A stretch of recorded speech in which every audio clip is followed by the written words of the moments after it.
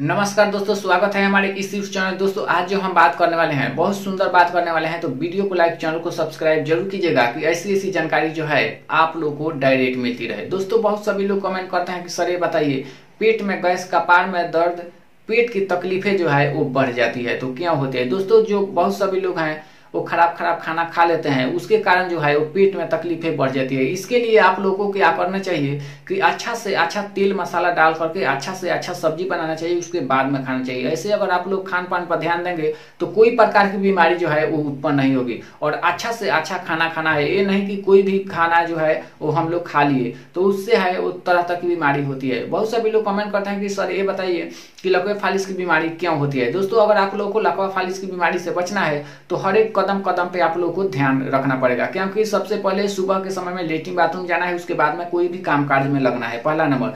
दूसरा नंबर, अनाज भी जो है, जितना भी धरती का अनाज है, वो सब प्रदूषण है उसमें। यानी कि तीन प्रकार की होती है। जो लोग, जो चीज़ आपको सूट करे, वही खाना चाहिए। अगर आपके शरीर में ठंडी महसूस है, यानी कोई भी ठंडा सामान खाते हैं, सर्दी, जुकाम, बुखार होने की संभावना बना रहता है तो आप लोग ठंडा सामान मत खाइएगा, गर्म सामान खाइएगा। अगर जिन लोग के शरीर में गर्मी महसूस होती हो, यानी कोई गर्म सामान खाने के बाद में, जैसे कि लहसुन हो गया, थोड़ा सा खा लिए, उसके बाद में गर्मी महसूस होने लगी, नमक थोड़ा सा खा लिए, गर्मी महसूस होने लगी तो समझिए कि उसी समय लकवा फालिस की बीमारी हो जाती है। तो इन सभी बीमारियों से बचाने, बचने के लिए गर्म सामान जो है, आप लोग को कम ही खाना चाहिए। जितना भी ठंडा सामान है, वो आप लोग खाएँगे तो कोई प्रकार की शरीर में दिक्कत नहीं होगी। दोस्तों, वीडियो देखने के लिए बहुत बहुत धन्यवाद। इस वीडियो की जानकारी चाहिए तो वीडियो को लाइक, चैनल को सब्सक्राइब ज़रूर कीजिएगा। जहाँ भी रहे, वहाँ बने रहे। माता दुर्गा जी से हरदम हर रिक्वेस्ट करता हूँ कि आप लोग के घर में खुशियाँ जो है, आगे पीछे झूमती रहे। थैंक यू दोस्तों।